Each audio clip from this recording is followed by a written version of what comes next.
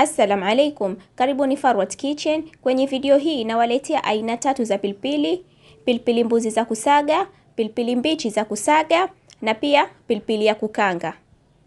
Kwa hiyo pilipili ya kwanza ni pilipili mbichi za kusaga.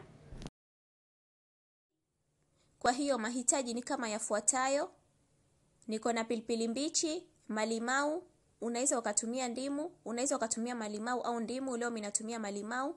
Alafu niko na kitunguu maji kimoja, kitunguu thomu, ila kitunguu thomu hicho mnachokiona sitatumia chote. Alafu niko na siki. Kwa hiyo nitatia kila kitu ndani ya blender. Alafu nitatia na maji ya malimau niliyoyakamua.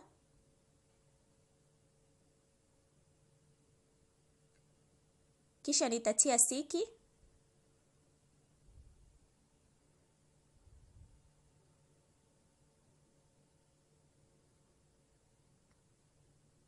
Nitatia na chumvi. Baada ya kutia kila kitu ndani ya blender, nita blend mchanganyiko, na baada hapo pilipili yetu iko tayari. Unaweza ukaandaa pilipili hii, unaweza ukala pilipili hii kwa viazi, viazi vya karai, bajia, bajia za dengu au bajia za kunde. Unaweza pia ukala kwa viazi vya nazi, matoke, chochote utakachopendelea. Asanteni sana. Pilipili aina ya pili ni pilipili ya kukanga.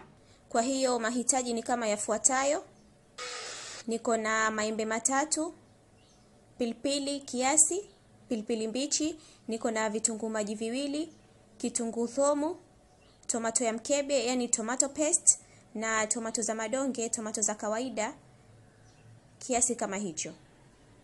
Kwa hiyo nitatia kila kitu kwenye blender. Hapo nimetia kila kitu, nitatia na maji. Nimetia kila kitu, mahitaji yote isipokuwa tomato, tomato paste. Alafu nita blend. Baada ya kuchanganyika vizuri, nitabandika mafuta motoni, na mafuta yakishashika moto nitatia pilipili nianze kuikanga. Kisha nitatia chumvi na tomato paste na pia unaweza ukatia sukari kidogo kama maembe yako ni makali sana. Kama maembe yako ni makali sana, unaweza ukaongezea na sukari kidogo, lakini kama maembe yako yalikuwa mabivu kiasi, si lazima kutia sukari.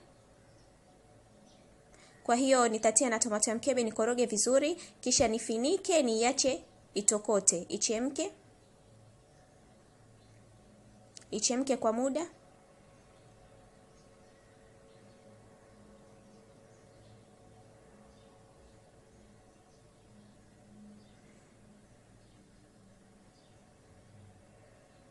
na baada ya hapo pilipili yetu iko tayari kama mnavyoiona. Na pia hakikisha unapoipika unaipika kwa moto mdogo mdogo, yani kwa moto wa kiasi, si moto mkubwa sana, ili iive polepole na iive vizuri. Na baada ya hapo pilipili yetu iko tayari. Andaa pilipili yako kwa wali au na pilipili aina ya tatu ni pilipili mbuzi za kusaga. Kwa hiyo mahitaji, niko na pilipili mbuzi, siki malimau matano au unaweza ukatumia ndimu pia. Alafu niko na vitunguu maji viwili, kitunguu thomu na chumvi kiasi. Kwa hiyo nitaanza kutoa vijiti vya hizo pilipili mbuzi kama hivyo mnavyoona. Nitatoa hivyo vijiti vya juu,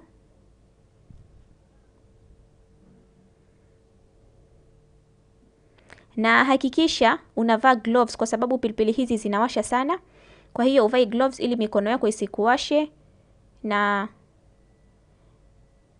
ukashika macho kwa bahati mbaya ukawashwa sana. Alafu nitakatakata vitunguu maji na vitunguu thomu. Kitunguu thomu sikutumia chote kile, nimetumia konde sita. Alafu nitatia kila kitu kwenye blender. Nitatia na maji ya malimau, yale malimau niliyakamua kisha nikayachuja. Hakikisha unayachuja una, ili zile konde zote kokwa zote zi zichujike zisipate kuingia hapa wakati wa kublend. Alafu nitatia na chumvi na siki kiasi, ch kiasi cha siki itategemea na we mwenyewe, kama unataka iwe nyepesi sana au nzito, utaangalia kiasi cha siki utakachotia. Alafu nita blend vizuri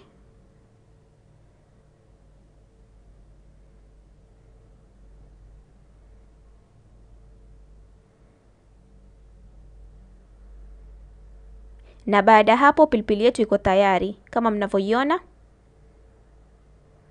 Unaweza ukala pilipili hii kwa viazi karai, bajia, viazi vya nazi, matoke au chochote chochote utakachopendelea. Tafadhali usisahau kusubscribe. Asanteni sana kwa kuangalia video yangu.